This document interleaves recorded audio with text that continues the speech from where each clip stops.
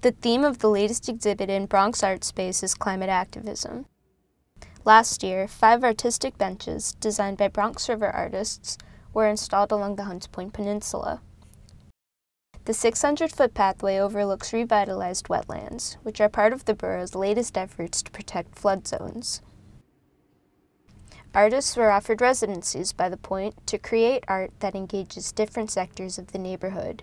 They want to address the issues in Hunts Point. Carrie Clark says her community badly needs cleaner air.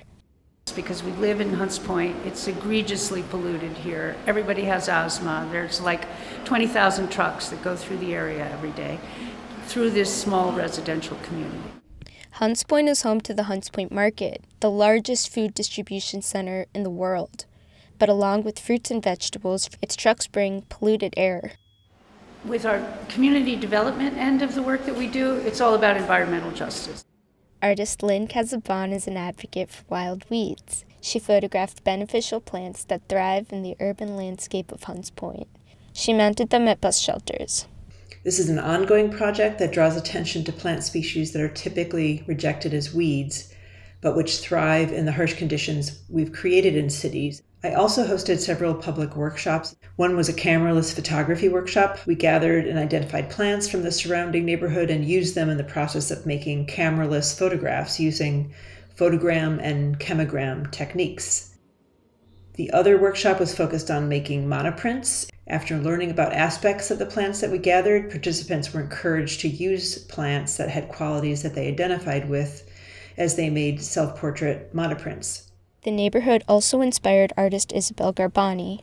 Her mural of tiles is handmade from plastics collected from the streets in Hunts Point. I picked up trash from the Bronx, uh, right on the sidewalk, right on the uh, on the side of the road.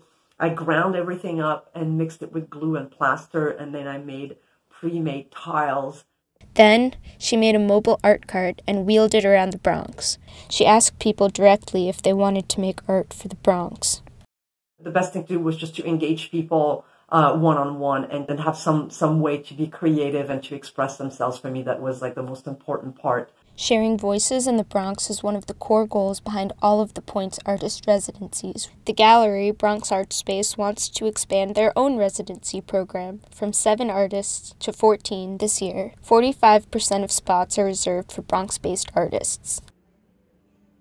For Mott Haven Herald, this is Sunny Nagpal in the Bronx.